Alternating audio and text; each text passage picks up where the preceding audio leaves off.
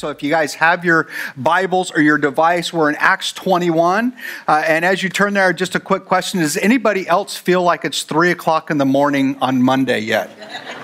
Because that's where I'm at. So uh, don't be alarmed if I lay down and take a quick nap during the sermon. Uh, I haven't put myself to sleep. I'm just a little tired. But in all seriousness, great to be here with you. Uh, Want to give you guys kind of just an overview of some of the things we accomplished uh, so that our church family is aware and continues to pray for us. Uh, but did have an opportunity to go to Cambodia had a small team go to Cambodia, uh, accomplished quite a few things there. Uh, one of the things we'd always do is we go to this remote village uh, where our main missionary, which happens to be my son, goes and does pastoral training. Um, and we were able to do that, do some pastoral training in this remote village, as well as doing a, an outreach for the kids in that area. So that was amazing. One of the really cool things we got to do on this trip, and it, really kind of surprised me to be honest with you. Anybody who's been on a mission trip realizes it almost seems like just one of the standard things you do as missionaries. You go and you do a VBS. Well, everybody does VBS, right? Believe it or not, this church in Cambodia that we were visiting had never done a VBS before. Uh, and so we had the privilege of not only hosting a VBS, but also training the young leaders there to continue to be able to have creative ideas on how to reach out to the children in their community. And so that was an incredible work as well. Uh, did a couple of uh, like work project things, had a couple of, uh, of us that went down and we built a humongous swing set for an orphanage there, as well as a a, toy chest. And yeah, I mean, that, that looks really cool. Can I tell you, I, I actually helped, but. Um, I think I did a lot more watching than helping uh, because it's not really my niche. Uh, one of our team members, Kevin, uh, just kind of one of those crafty guys. We went down and got some wood down at one of their lumber yards, which is an adventure. Almost took us a full day just to get material. And then somehow, how some of you guys are wired like this, he just puts it together magically and tells me, cut here, put a hole there, let's put it together, and it comes up, and you're like, wow, that's pretty cool, huh?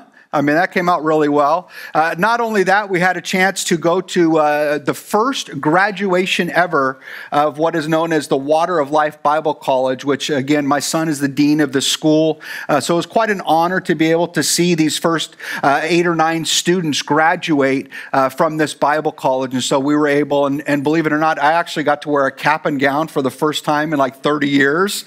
I was like, wow, th- th- I remember this. That was a long time ago. Uh, but good stuff. And then we did a couple of church services, those things.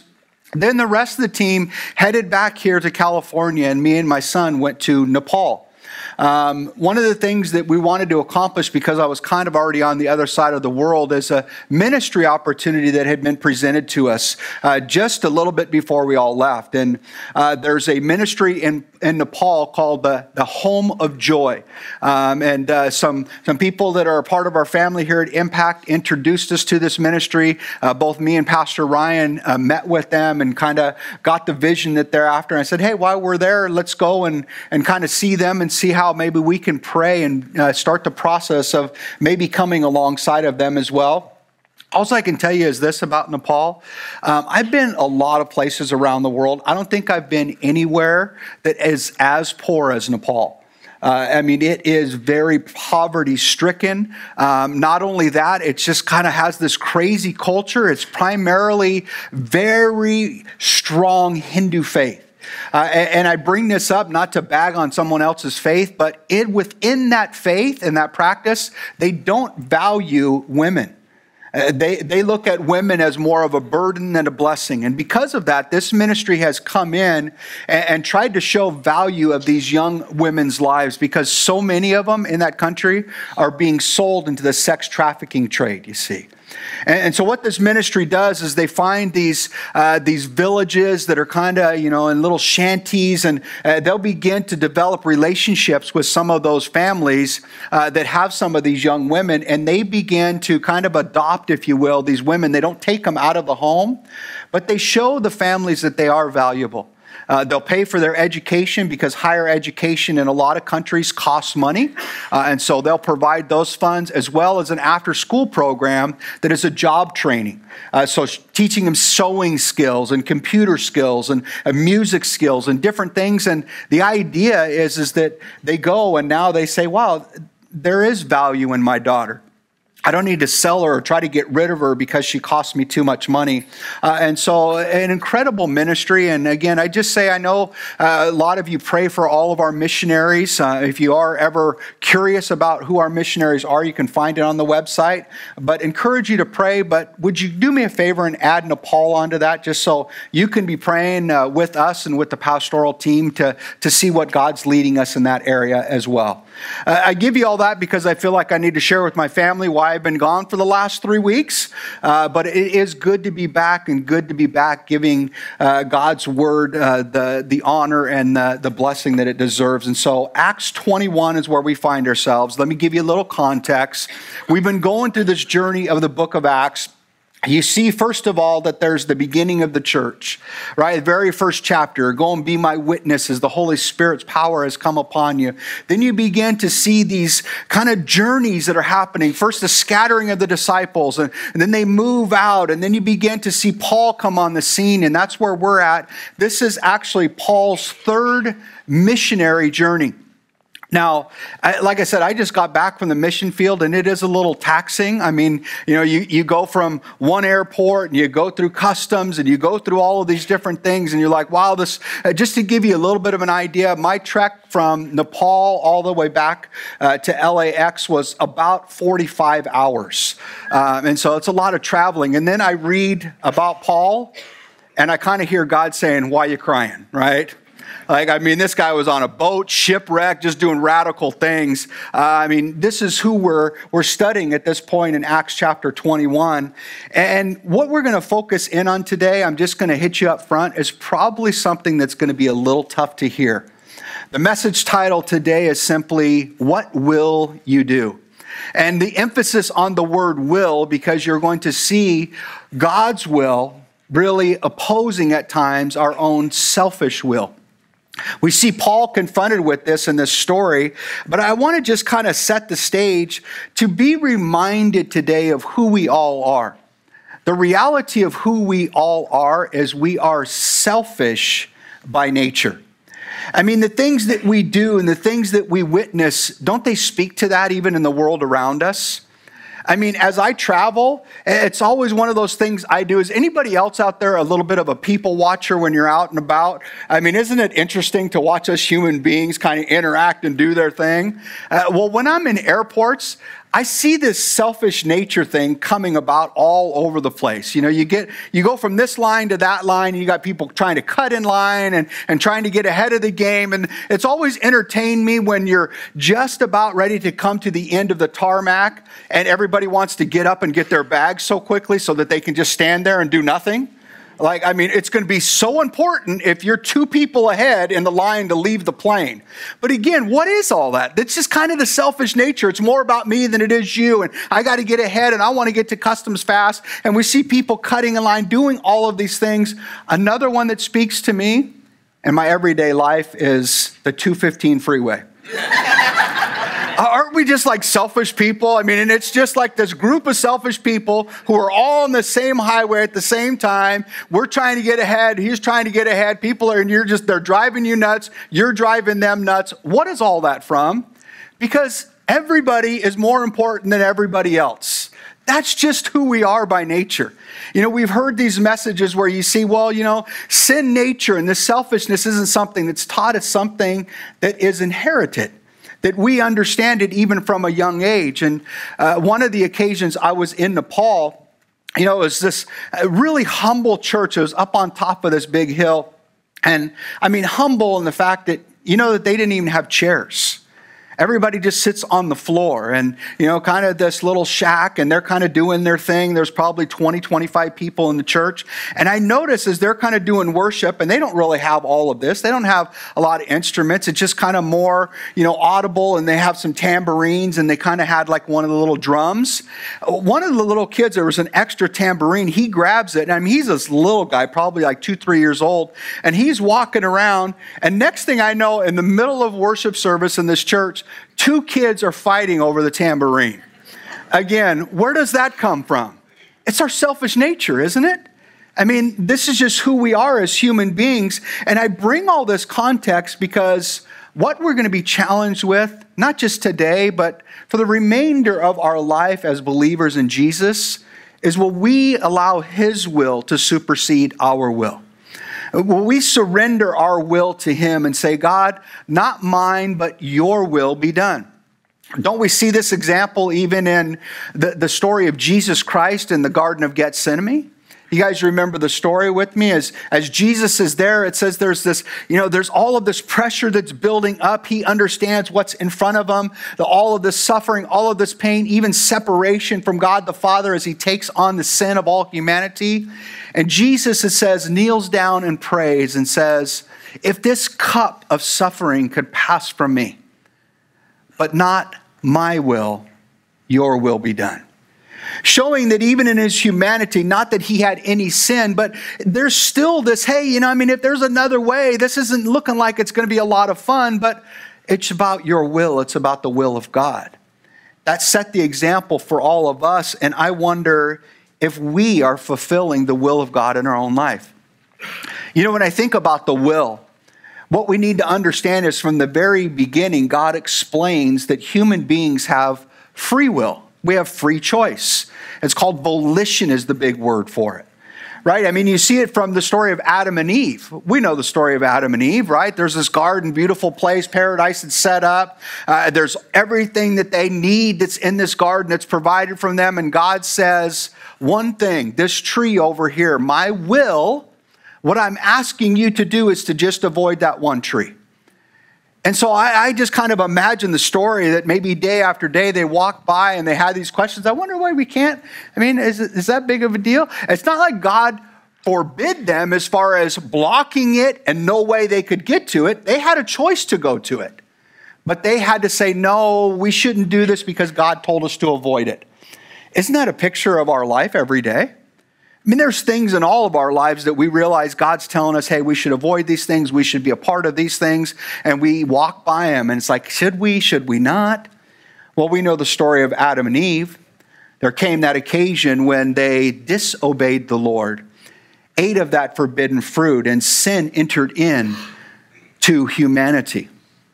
It's easy for us to say, well, you know, Adam and Eve, man, they blew it for the rest of us, bro. I mean, if they would have if it wasn't Adam and Eve, it would have been their kids or their kids after them. If it would have got all the way down to you, it would have been you, because I know it definitely would have been me. Can we just admit that we have this nature that battles against what God is calling us to do? That's what we're going to see in this story, but selfishness is something that God warns us about over and over and over again. The Psalms talk about selfish gain. Galatians talks about selfish ambition.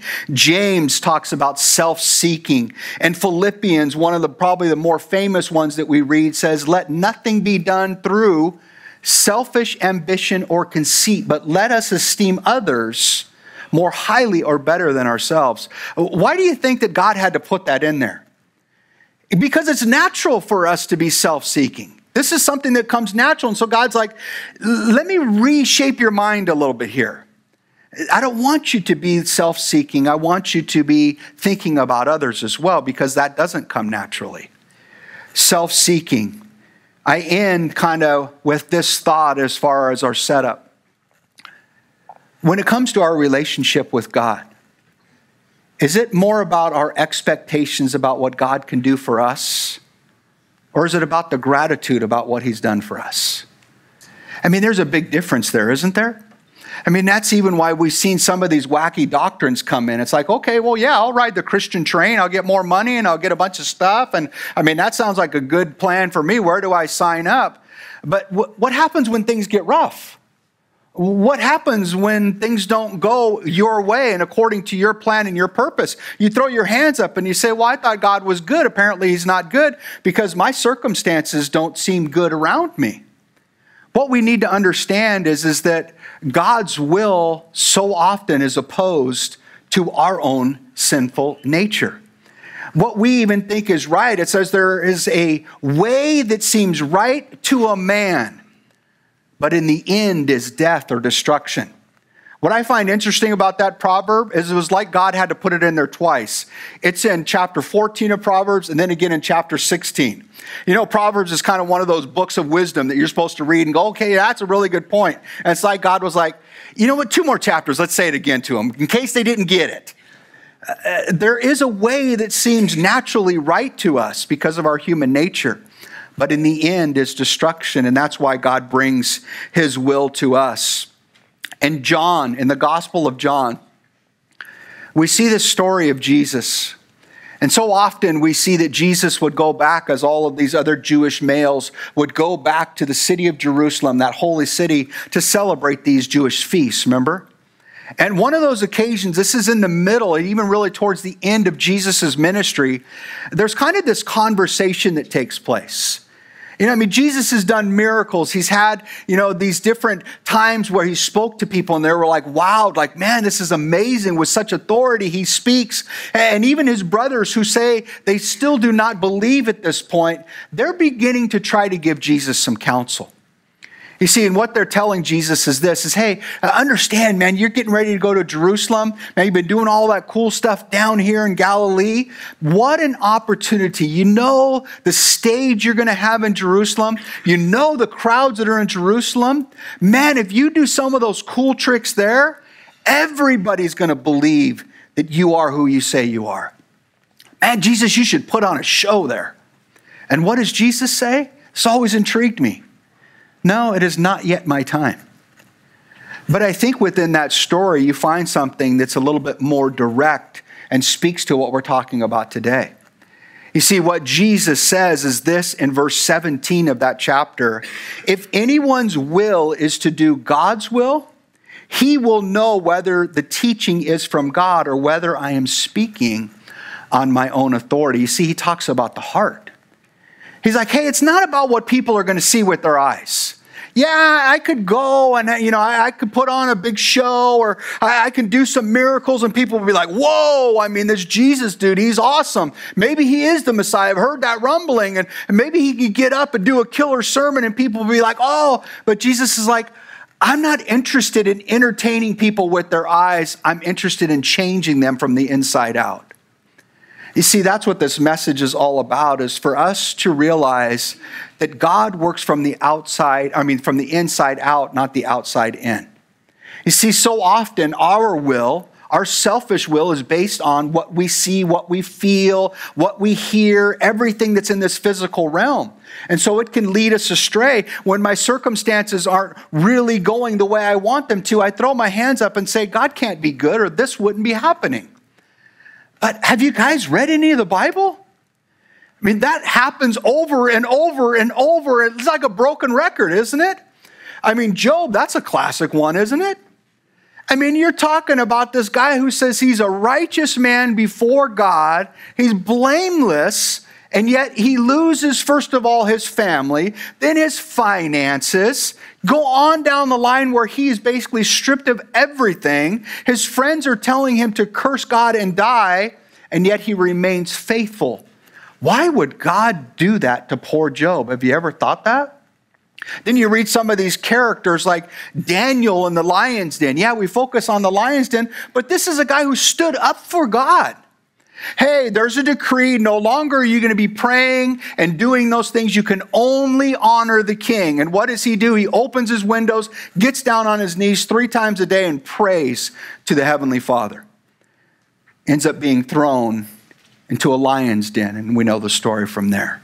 I mean, go on and on. The Josephs, the Davids, all of these different guys, their life at times had some turmoil.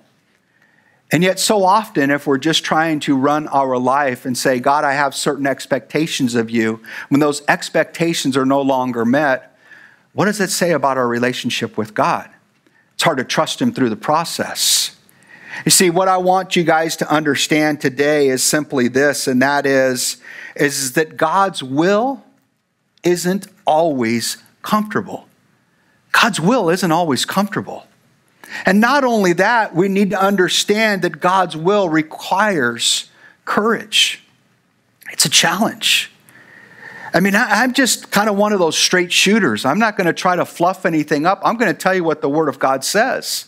I'm going to tell you some of my own experiences. And I know we probably could take turns coming up here knowing these exact same truths that we've had some difficult times. But in the end, you're like, wow, I don't know how it all worked out, but God was doing something behind the scenes. God was working something out. I, I mean, it's amazing to look in hindsight, but it's so difficult where you're in the midst of it, isn't it? It's not comfortable all the time. And I mean, if God just wanted to present this picture that you would read this book and say, oh, it's so amazing. Of course, I'm going to sign up for the, the Jesus thing. I mean, look at all the things you get. But he tells us stories about Paul now in this one. I mean, he's going to be warned not to go to a certain place, Jerusalem, because he's probably going to get beat up and thrown into jail. We've already read about Paul. I mean, one time he gets stoned to death. I mean, think about that in your mind's eye. I mean, you're getting up there, you're trying to glorify the Lord. Next thing you know, a bunch of rocks are being hurled at you, hitting you in the head. Next thing you know, you're like, you're stunned, you're dazed, you're down. They're still throwing rocks at you. They think you're dead. They pull you out of the city. Like, okay, finally got rid of this guy, man. He's causing a bunch of problems around here. Paul says that the disciples came and prayed over him. All of a sudden, he gets back up. I'm sure dazed. Who knows if he even had a concussion? He was like, uh, where was I? I need to go back and finish that sermon.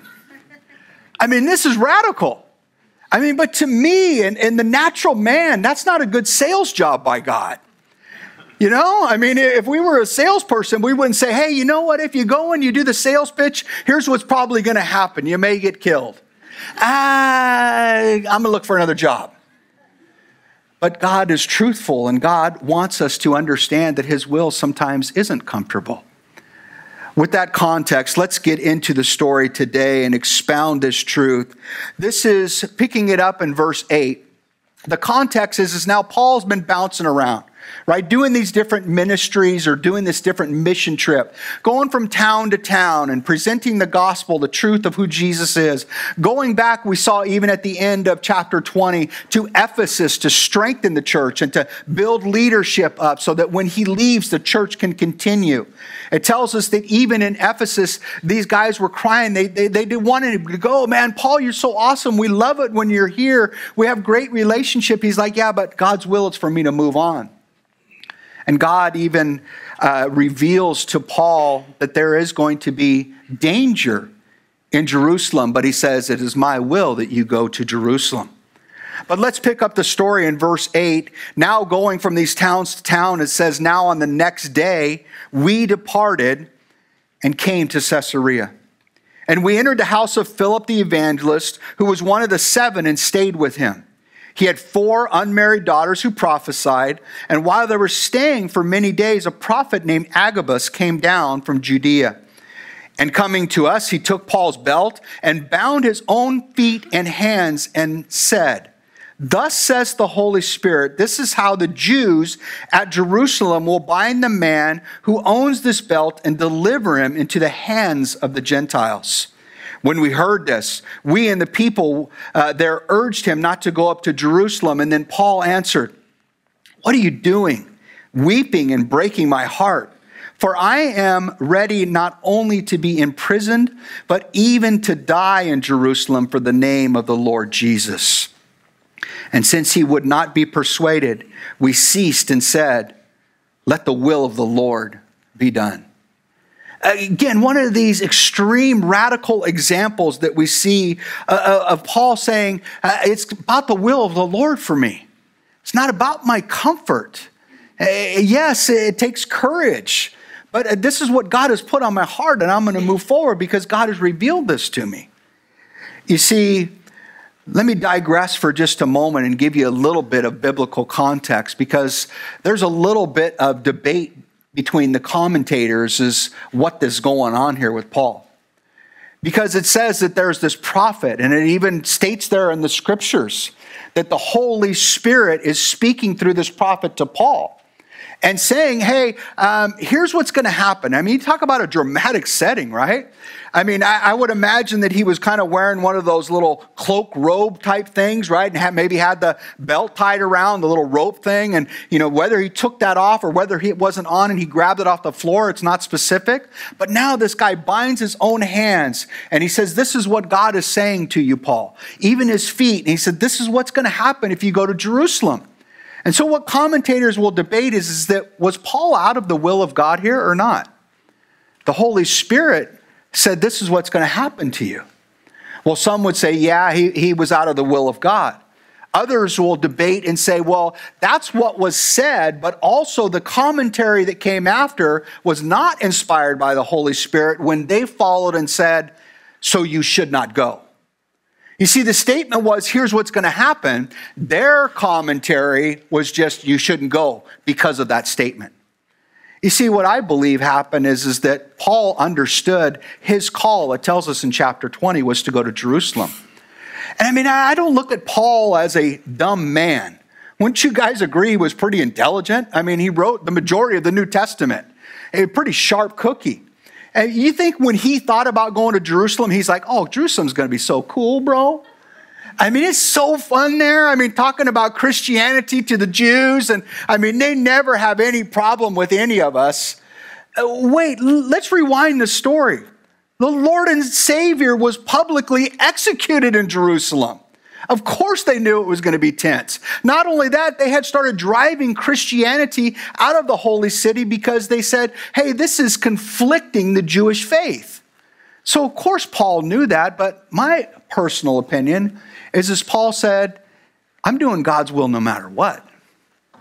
Yeah, I, I, I, there's probably a really good chance I could be in prison. And Paul's like, it happened in every other city. Why wouldn't it happen in Jerusalem? But I want to do the will of the Lord above all things. You see, he was willing to follow God's direction wherever it took him. And the question that we must answer today is do we have that same heart? Or are we trying to use God as some big vending machine in the sky, some genie in a bottle, that when we need access to Him, we want to cry out and say, God, I need you to fix this. And as soon as it's fixed, then we move on. And when things get tough and when life throws you some curveballs, are we throwing our hands up in the air and saying, God, I thought that you were a good God. Why would this happen if you're such a good God? Can you imagine if all the characters that we read about in the Bible did the same thing? Can you imagine if Daniel would have done that? Can you imagine if some of these characters we read about, even in the New Testament, would have done this? I can tell you what I would imagine. None of us would probably be sitting here today because Christianity would not have moved forward. But they were saying, This is what God has called us to do, and that's what we will do above all things. You see, it is definitely not always comfortable. I'm sure you have your own experiences, but let me share a few of them that I've had with you. You know, I'm sure we could all march up here and say, there was a time in my life where I didn't, I didn't understand how this was working out, but now in hindsight, it makes sense. My journey through ministry has been one that has been challenging at times. I started out in ministry professionally as a youth pastor. And, you know, things were going really well. And I mean, the church was growing, the youth group was growing. We had great relation. Everything was awesome. It was like, man, this is amazing. They moved me into the role as a missions pastor. I'm like, I love doing missions. This is great. Man, we're going to build some momentum. This thing is going great. And then all of a sudden, I get called into an office and I'm told that it is time for me to move on because God is calling me to be a senior pastor. And I said immediately, I didn't get the call. Doesn't he know my phone number? I don't always have the most tact. I don't know if you guys have got that about me. But moving past that, obviously, I mean, at this moment, I'm thinking, God, I've been serving you faithfully. I mean, I've moved my family out. I know this wasn't a big stretch. I moved my family from Hemet to Menifee. Thank you, Lord, right? Uh, but you know, I, I, relocated and I'm doing all of these things and I'm pouring my life and my heart out, going on mission trips, discipling these kids. And now all of a sudden, I'm left with now a new mortgage, four young children, and a single income that was mine that no longer is there. God, if you're good, what's going on? Well, shortly after that, I, in faith, started a church called Calvary Hills. And I saw God start to move and God start to, to, to make provision for the church and for my family. And we started to grow, and we ended up even being in this building after a year, not here, but where the family center is. And, and we began to get this building project, and it was amazing. And, it was a $100,000 building project, and we were debt free the day we moved in. And started the church. It was an amazing work of God, and we're all excited, and I'm seeing so many things. God, okay, now it makes sense. It didn't make sense in the midst of the storm, and, and yeah, this is great, and things are going well. And then the 2008 and 2009 recession hit. You guys remember that? Wasn't that fun? How do you think it was for a church family? Because the church family supports itself and supports the church through its income. Guess what? Do basic math. When everybody's income gets cut down, the church's income gets cut down. It's just the way it is. And I mean, we have these different bills to pay for the church and, and for ministry opportunities, and all of a sudden it's like I'm now three and a half going on four months behind on rent for the building. God, where are you in this? I mean, we've been, we've been faithful. We've been doing the right things as best as we know how. We've been preaching the gospel. We've been ministering to people. And, and now we're going to lose everything. And then God again shows up and shows us through it. But again, through all of those processes, working and molding and shaping not only me, but so many within the church family. And then later on, there comes a time where I feel God's calling me to talk to a local pastor about two medium sized churches becoming one church in Menifee. We have the, the same ministry approach. We ha- have the same doctrinal approach. Uh, we do the same thing. So often we're even doing ministry together. And so God put Ryan Sharp on my heart, and I took him out to coffee and unloaded on him with this question of what do you think about two churches becoming one? And you know, even in that process, I remember God working on me even months before I even had this conversation. And, and the things that were going through my mind, I, God, it this doesn't make any sense. I, I, I'm my own boss now. I kind of like this head position here. I mean, it's nice. I can set my own hours. I mean, I have complete control. I, you know, I, have got it, and I, I can just do things the way I feel you're calling me to do it. And God's like, no, this is the step I need you to take. And for about two months, I wouldn't take that step. And then the Holy Spirit, known as my wife, stepped in and said, Have you talked to Ryan yet? And we did. And I bring all that to your attention because there is this uncomfortable thing that takes place. But you've got to put one foot in front of the other. And do you realize that we're all a part of a church family called Impact that I believe so strongly in that I know God is going to do amazing things because He already has, and I know He continues to do those things? This is God's will. And walking through that journey, and I know you guys have your own stories, man, sometimes it's super uncomfortable. Man, sometimes it's super uncomfortable. And you're like, I, I, is, there's got to be an easier way. I mean, I'm just going to be really transparent. There's times in my ministry life where I felt like going back to the private sector has got to be a lot easier than this dealing with different situations and ups and downs and wouldn't it just be a little easier just to punch a clock nine to five and, and do that thing provide for my family? And i won't have to mess with this. And god continues to tell me but this is my will for your life. Sometimes maybe you're like me and you understand and recognize god's will and you're like do you have any other plans? It's a challenge and we see in this story that not only is it a challenge, let me follow up with this statement, is to realize that sometimes God's will isn't always safe. He puts us in these positions, and it's like, wait, that, that, I thought there's supposed to be a safety net. Where's the security here? I mean, this is the story where Paul is literally being told, hey, it's unsafe to go there. I mean, they're going to do you bodily harm maybe just imprison you, but they might even kill you, dude. And he's like, That's what God's calling me to do, and I'm not backing down because it's unsafe. But we need to realize that God requires us to have a complete surrender. God's will requires surrender. Today, am I, are you willing to completely surrender to the will of God in your life?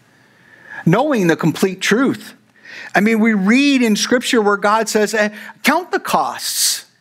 God doesn't want some kind of false motivation out there. Hey, I want you to know exactly what you're getting into. Am I the only one that has discovered, you know, hey, you know, become a Christian and life's going to be so much easier? Is a bunch of baloney. It's just as hard being a Christian as it's being a non Christian. I mean, you have a hope of eternity, you have a joy that's eternal. You can have a peace that surpasses understanding, all of those things, but all of those things are etern- internal, not external. But yet, so often, our will is determined by the things we see and feel around us. You know, God is more concerned with your heart than he is with your circumstance. God's more worried about the inner man and the inner woman than he is what's going on outside. I mean, that's the only way to make sense of these scriptures. I mean, God is obviously in love with Paul. Why would he put him in these situations? Continually in these situations. Why? Because God's glory is more important than yours, mine, or Paul's. He is God. And what he desires to do to be able to shape and to mold not only us, but people around us is his will. And we've got to be able to say, God, that's got to be number one priority for me. Not my comfort, not my safety. But isn't that really the priority for most Americans, especially? Security and comfort. I want to surround myself with this little invisible bubble so that I can continue through life so that it's safe, secure, and comfortable. And yet God says, I'm just going to be straight with you. Sometimes my will doesn't fit into that little bubble. That's your will, not always mine. And I say all these things not to just say, hey, you know what, uh, man up, but just be smart. Understand who God is, and understand that the desire that He has for you is your heart. And why is that such a big deal? Um, because these bodies will be gone in 75, 80, 90 years. The inner man, that inner woman, will go on for all of eternity. I mean, we've got to believe these truths and move forward in these truths, not just at some funeral say, oh, it's so good that Aunt Judy got to go to heaven and, and walk the streets of gold. Well, that's an awesome thing, but the reality is, is that is what God is all about.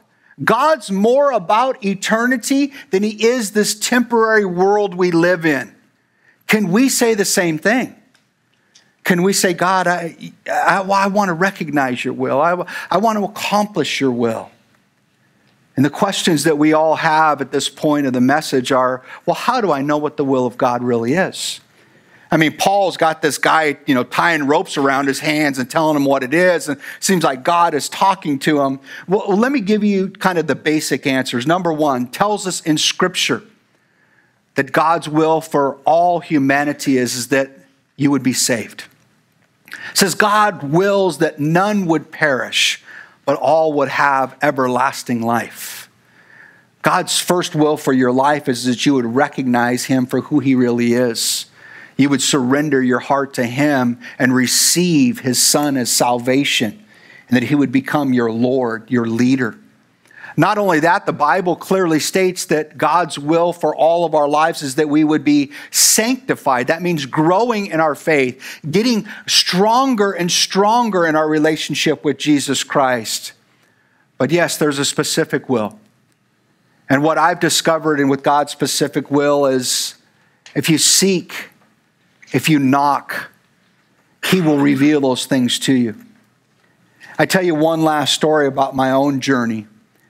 You know, when I was at this point at one time in my life, just, you know, hearing messages from pastors and saying, hey, God's got a plan and a purpose for your life, and God has a call, and you have gifts, and all of these messages that we hear. And I'm just like, okay, well, I mean, I'm not sure what it is. How am I supposed to know these things? And I, I don't know. I, I, have a desire to serve God. I, I want to, to be who He's created me to be. And I began to simply just cry out in prayer every day God, my heart is to serve you.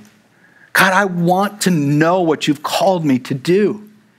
God, my life is yours. And I'll never forget, he revealed it to me in a concert.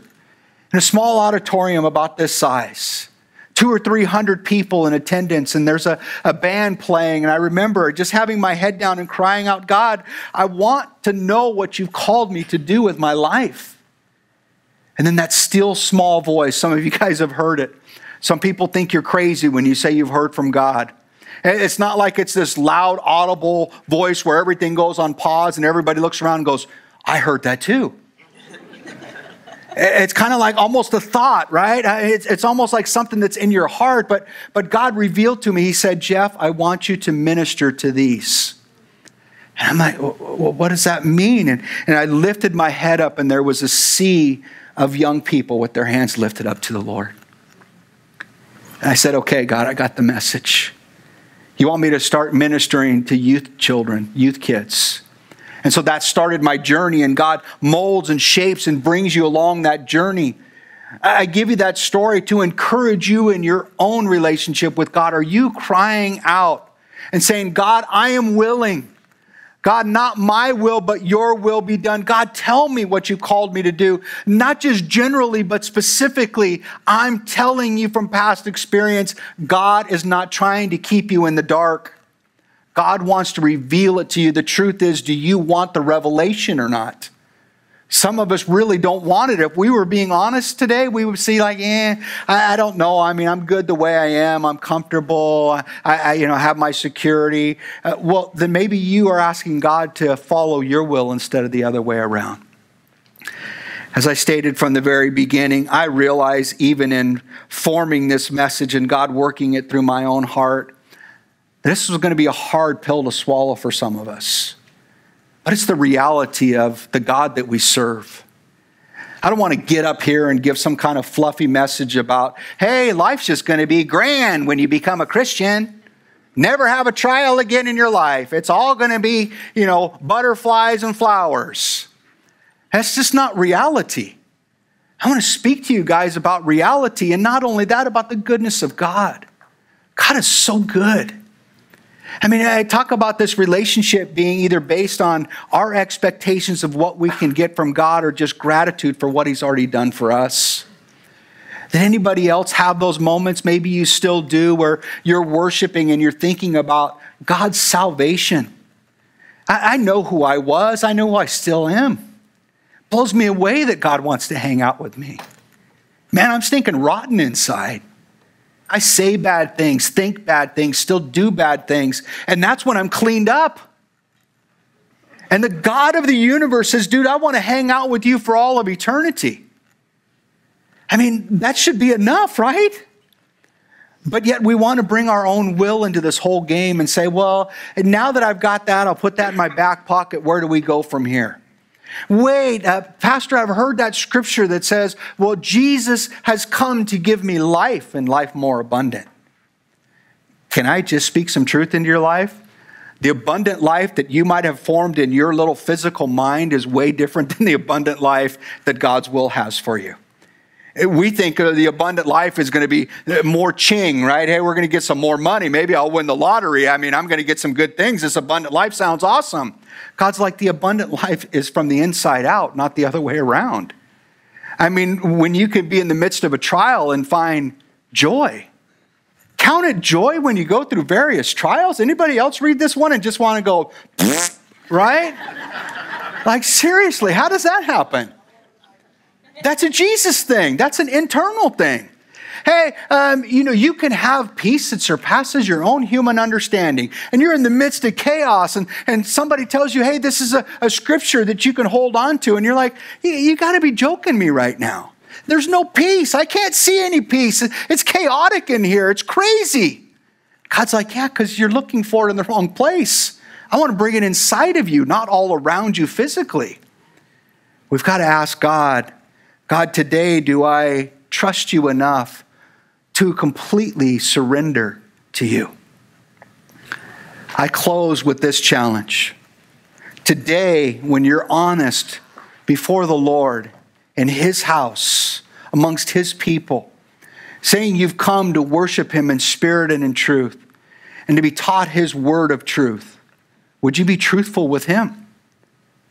When it comes to a complete surrender to His will.